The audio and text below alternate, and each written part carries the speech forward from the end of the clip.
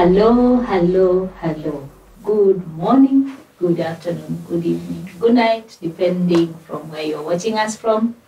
It is yet another opportunity for us to just interact, to have uh, enriching conversations about growing ourselves, learning from one another, inspiring one another, and just calling uh, one another to, to come out of, of, of that slumber and that, you know, just that settling and just be everything that God has called you to be and just go out there and become. We have always said here that we don't wait for the whole picture to appear. We start, we make the first step, and God walks with us through so that we can continue to, to, to, to impact destinies, to impact life, to impact, to, we have to leave an impact. That has been our trademark, that has been our stamp. And therefore, thank you so much for always being a very good company for this show. My name is Hellen Wangui Mathu. Welcome to the Deborah Generation Show.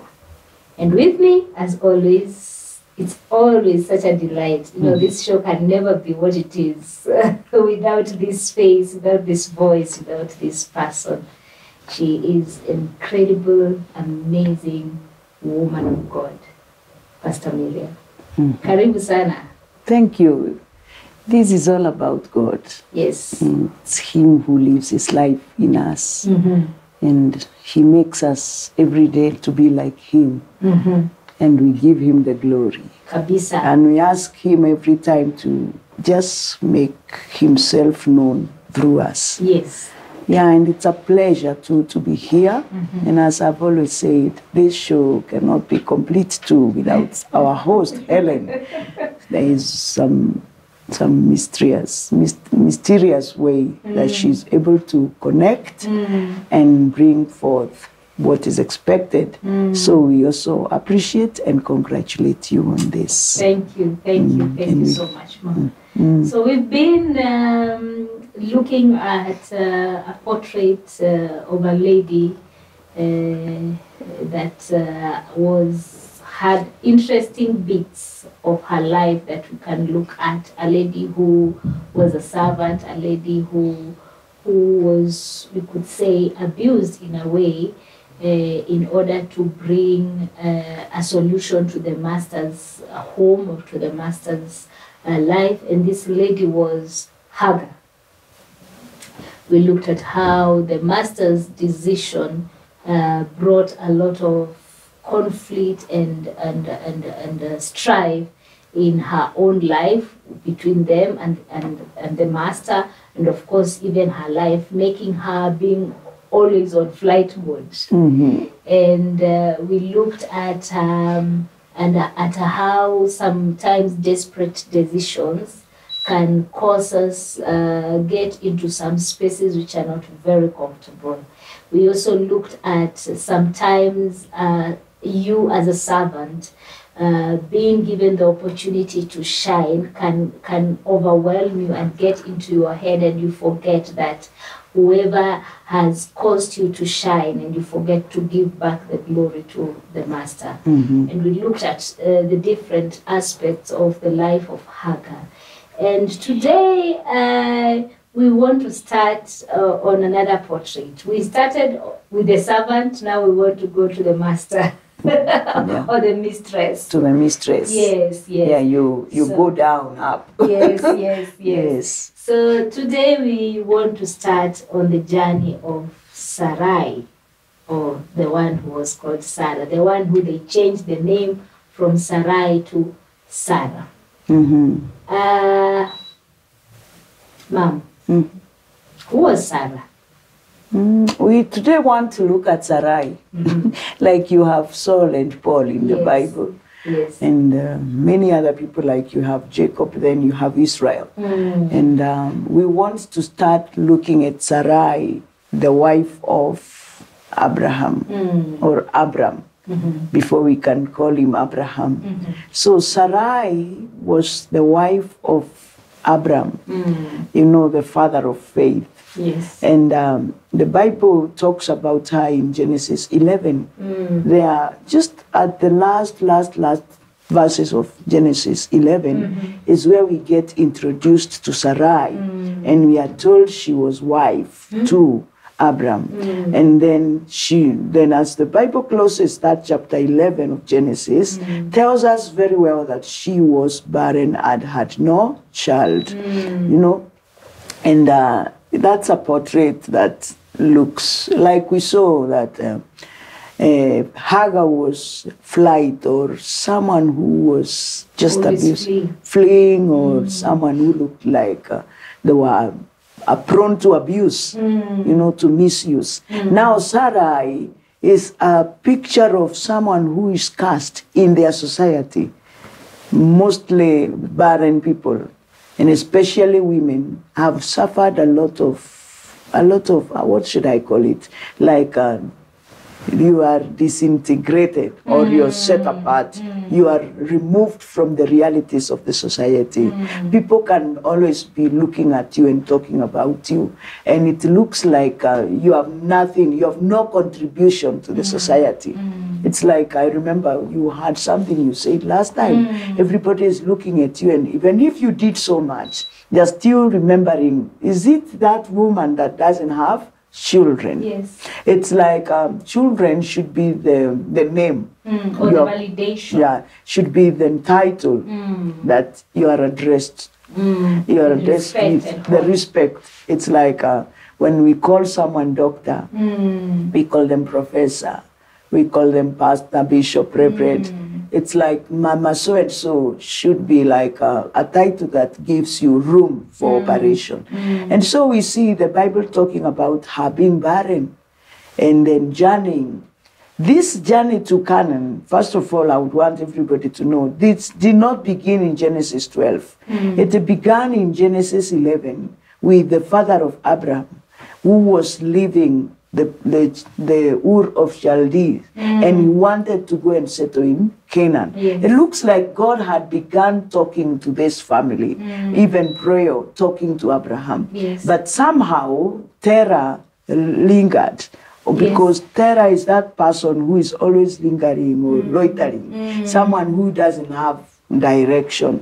And sometimes we find ourselves there, or some other description of Terah is someone who is fearful, who is not willing to take risk. Mm. And so he lingered, he loitered, and settled at some place mm. between Canaan and the, the, the, the, the, the, the, the nativity, the land of the, the native land. Mm. And so he was not able to deliver his children where they should have gone. And we see on the way Haran, who was supposed to be the father of, of, um, of Lot, dying. Hmm. By the time now we are seeing Abram and Sarai hmm. being told by God, and especially Abram, being told to leave his country hmm. and go to the place where God is going to show him. Yes. We see that there is a boy here called Lot who doesn't have parents. We don't even hear the mention of his mother. I don't know whatever happened to the wife of Haran Yes. because it is not clear. And then we see them carrying a boy. And I'm thinking it's one of the reasons why they went with Lot, Sarai would have allowed it so easily was because she didn't have a child. Mm. And maybe she could think, oh, maybe with Lot there is some hope and future. As I raise this child mm. that belongs to my brother in law, something is going to happen. Yes. Just like many of us find ourselves there. Yes. Though especially when we have no children of our own, mm. there is this bit of like, oh, let's take this child and mm. raise him. There are those elements of um, adoption. You you go to the government and you say, I want to have a baby that I can raise. And considering that you have no children of your own, mm. you are able to have space to raise. And so I am thinking, Sarai, out of that pressure, pressure, pressure, you know, mm. like, oh, I don't have a child I'm raising, mm. and everybody is saying, oh, that's maybe it was easy for them to be accompanied by Lot and move on. And we see they moved and they journeyed. And as they are journeying, you remember in Genesis 12, there's a place the Bible talk, the Bible talks of hunger and famine, mm. and they had to go down to Egypt. Mm. And as we said the other time, as we were discussing Hagar, we say that the king of Egypt, it was known, it was a popular opinion in their mm. country that any beautiful woman should be the king's wife. Yes. And so at the entrance of uh, Egypt, and everybody came telling the king, Oh, there's a man here, a Hebrew, who has come down for food, and he has a very beautiful wife. Mm-hmm. And so news got to the palace. And before it was too long, they came for the wife. And Abraham, or Abram then, knew that he, he must have known the history of that place or the culture. Mm-hmm. And so we see him beseeching his wife mm-hmm. and telling her, please, when they ask you who you are, tell them you're my sister, which was true because it was like um, those old days, families used to marry Yes. among themselves. Yes. Why? To preserve their seed, to preserve their their family. I mean, uh, their, I don't know what term to use properly, but to preserve, let me just say to preserve their seed. And so we see, um, like, uh, like there was this brother of his called Nahor who mm. married a cousin. Yes. Then you'll see that even Abraham, if he married Sarai, it was like she was of the same family. Yes. And even when she's saying, You're my sister, she's, he's saying rather, You're my sister. He is correct mm. because they are of the same blood. But now they have a covenant of a husband and wife. Mm. And you remember how she was handed in to the mm. king of Egypt. And uh, then, because God could not have allowed this young woman to have a seed that was not of the promise. It, it did not allow the king to have a seed mm-hmm. from mm. Sarai or with Sarai. Sarai. Imagine have God having spoken to Abraham. Then he allows that Sarah is taken by the king of Egypt and they have a son. Mm. What would have happened to the promise? That he had said that he will bless Abraham mm. and his seed will multiply mm. and will be full like the sand or the stars. Mm. If he could count the stars, then he was able to count his population. yes. That is what God was just telling him. Mm-hmm. So God comes in and protects Sarai. Mm-hmm. She is still Sarai even now. Her name has not changed, which means contention like someone who brings strife, mm. you know, strife or contention. Everywhere she's going, before she broke through, we could see a lot of contention. Yes. Like we are hearing when they are moving, the Bible tells us that um, Terah moved with his with his son Abram, mm-hmm. moved with his son Nahor, and also moved with his son, his son, the son of his of his late son. Mm. It's like then then they are talking about even Sarai, who was wife to Abram, was part of the people that moved with the father-in-law. It's there's like uh, I am looking at Sarai and Abraham and seeing a gap of a kind. Yes, this marriage is working, but there's something still not connecting very well. Yes. And you can see he was willing to allow the king have his wife. And what did he say? He said, "Let's let you go mm. so that you can save my life." Mm. And I want to speak to a woman here who is in a situation or a marriage mm. that is not really adding value to them simply because they are either barren in a way or they are not able to add value in something. They are either housewives who have nothing they are presenting on the table. And sometimes they are supposed or they find themselves being used in a, in a way that they feel misused. Because looking at what happened to Sarai, that the husband was willing to give her out to save his life, that is to mean, it's like, oh, my life, I man, Yes, yes. I am, my Mine life is more more important. Mm. And uh, most of the times, women find themselves in those shoes.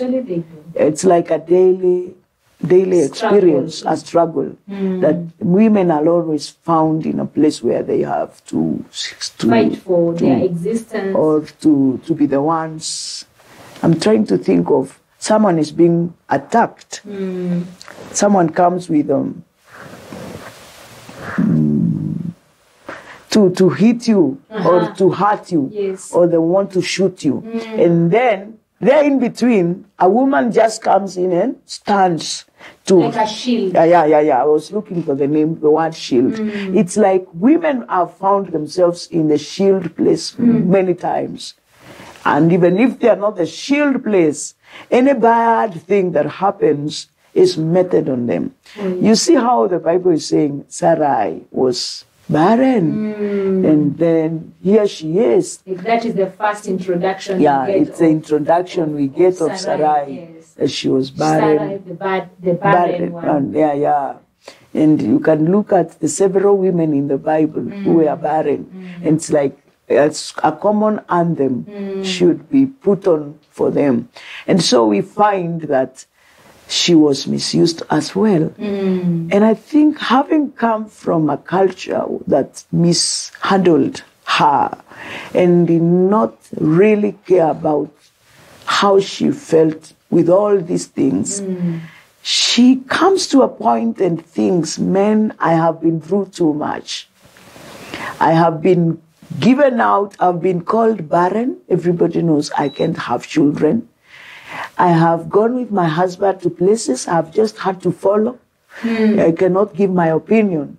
Yeah, you see, Terah moved his family, and the wife is, I mean, Lord Abraham's wife is part of the people who hmm. must follow the father in law. Hmm. Then here we come, and the Lord tells Abraham, Leave, and I'm going to bless you. And at some point, Abraham realizes it's too dry here. We don't have food. Mm-hmm. Let's go down. Let's backslide. Let's go down. Yeah. Remember the, the time we did uh, Naomi, and Naomi, the yes. husband and the mm-hmm. family. So women, and we said women find themselves most of the times mm. in a place where they cannot independently come out of Yeah. something. Yes. They have to keep dancing to the tune, Yeah. even when they don't know what shoes to wear to dance True. or what ground to step on to, to dance. Mm. They just have to follow the river as it mm. flows. Mm. And so we find Sarai in the house of the king.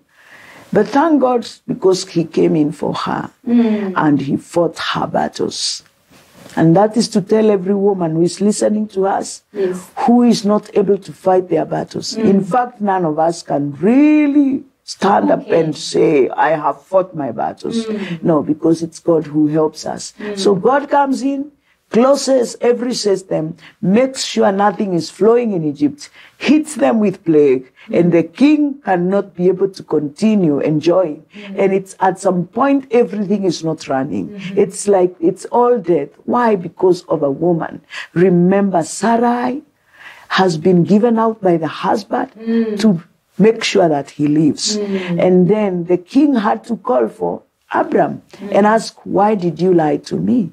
Why are you causing us all Yes, this yes. mess?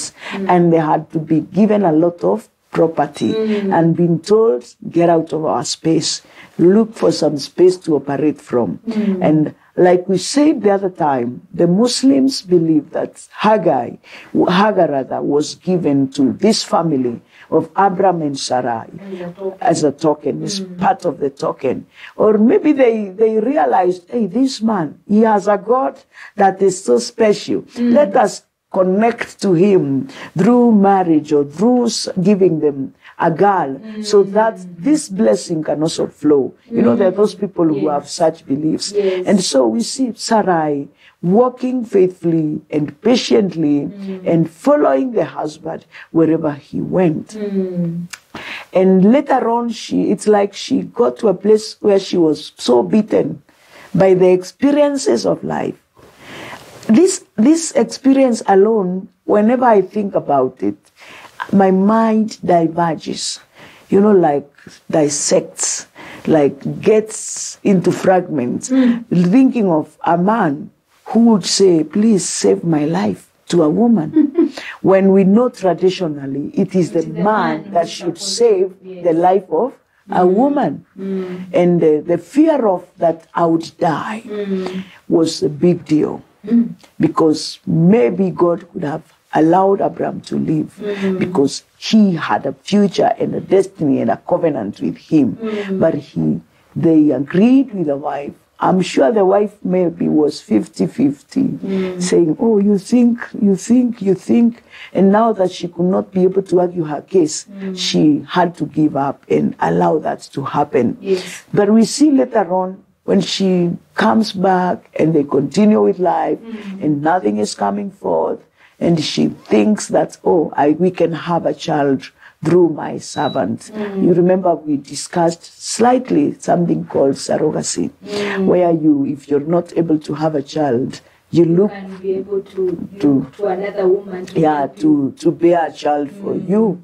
And surrogacy these days is being practiced. It has been there. You can see it. It's, It began in, in those olden days. It's not, there's nothing new on, on earth. So, and we see what happens when she allows her maid to be the wife, let's say the wife of the husband, and her space is taken and she cannot breathe. Sure. and she doesn't know what to do hmm. until she's just there looking at the girl and hmm. puts pressure and the girl goes away. Hmm.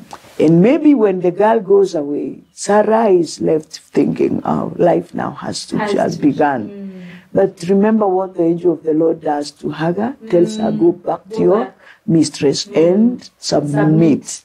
to her. That is to mean God was still trying to help, not really help, trying to.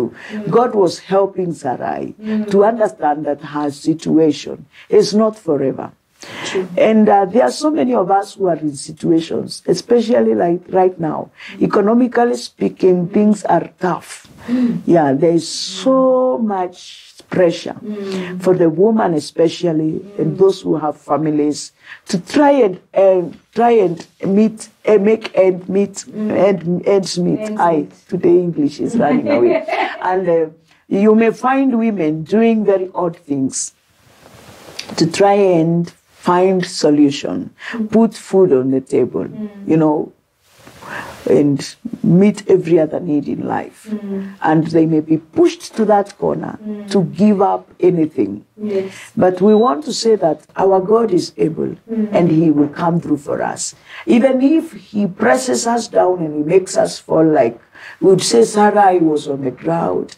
When every time she tried to get a solution, or the husband used her again to get a solution, mm. you remember they will go to some other place and they will, she will be given to, up to another king called Abimelech. Mm. And there God fights the battles mm. and even makes the women around there to be barren. They could not bear children. And that is to mean for a while she had been given out.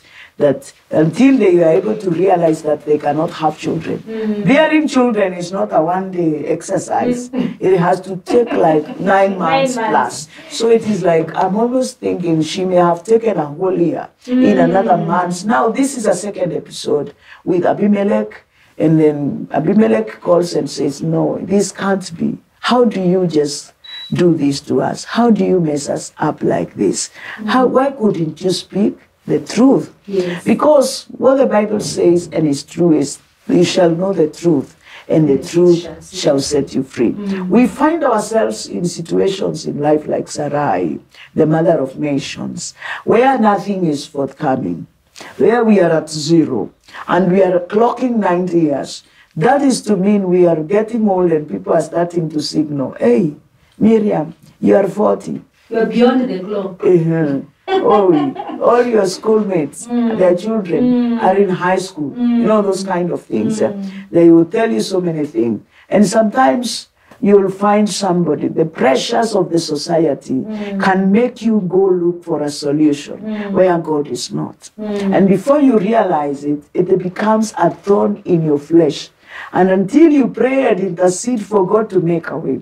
Because as we continue see looking at Sarah, we will see her name being changed to Sarah. Mm. We will see her now even when the, the maid has had a child And I'm sure all the interest of the master is on Ishmael. Mm. And it's like Masarai can continue. If you are saying in Kiswahili in Kenya, pambanaring with, Pambana. with her hali. your Harleys. and, eh, and eh, you know struggle with your issue work on your issues mm. aluta continua mm. and so but somehow we see still god comes in and changes her name from sarai to sarah and then promises that she's going to be the mother of nations she's going to be a queen from having struggled with all these things being given out to kings anyhow god preserved her because she was not given out to a servant. Mm. Even when the man decided, I'm going to save my life Yes, through my wife, yes. he was, she was always in the palace. Yes. It's like the Lord wanted to tell her, though you be desperate,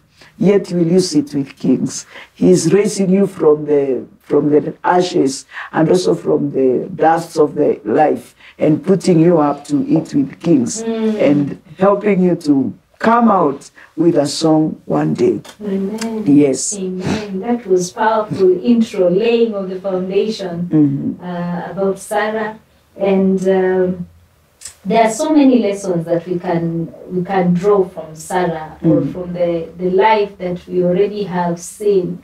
Uh, you know that lineage and you know the way she she even her introduction. You know you are introduced by your pain Mhm. like that was her her identity her pain of Yeah, not having yeah. children Mm. That- that was the identity that he, he is even introduced in the in the bible in the bible like uh, Sa- the wife of abraham sarah who was, Was barren. barren and had So, no Uh, child. so uh, I, I just want to talk to, to, to a woman out there uh, as we close this that it doesn't matter what introduces you, it doesn't matter what has overtaken your identity.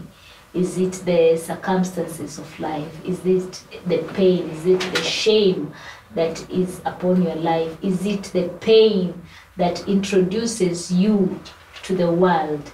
it doesn't matter how bad or how dark it may seem because God is always behind the curtains working. That is such a powerful foundation that we have laid, Mama, you have laid for us for about Sarah. And um, it's interesting how Sarah is introduced. Mhm. Sarah is introduced through her pain. Sarah is introduced through her shame. And most women right now, you may find yourself in such a, such a situ- situation. okay? And you find yourself being, the, the, the thing that introduces you is your shame. The thing that introduces you is your pain. The thing that introduces you is your pain. And you really don't know how to get detached out of that uh, shame, out of that darkness, that out of that dark cloud, out of that pain. But I want you to know this just as we see, as we continue to journey and explore Sarah, because what God has spoken over your life, it shall surely come to pass. It doesn't matter how long it takes. It doesn't matter if right now you seem not to see whether you are doubting if God really said. But if he said it, he is not a man that he should lie, and therefore he shall bring it to accomplishment. And therefore he shall change your shame into glory. He shall turn around your captivity into freedom. He shall turn around your pain. He shall take out your pain and give you joy. And therefore, hold on, follow through. Just like Sarah followed. When God spoke to Abraham and told Abraham moved, he she moved. When uh, Abraham sacrificed her to the king and said, Please become my sister for now, for my own life, please. she did not ask a lot of questions. She was like the sacrificial lamb. She laid her life down. She became she became the the the, the what can I what can I say? Like she she yielded. She yielded to the will of God through the husband.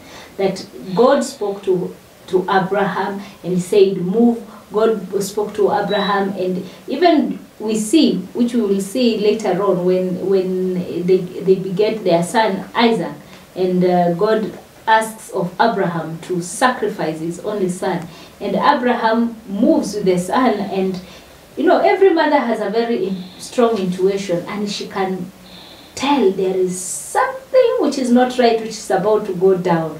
But what does she do? She does not fight the husband. She yields and she she she's humble, and yet God uh, provided the sacrificial lamb. Therefore, in that situation, in that dark space that you're feeling yourself, that you have found yourself in that pain, that oh, your name shall be changed.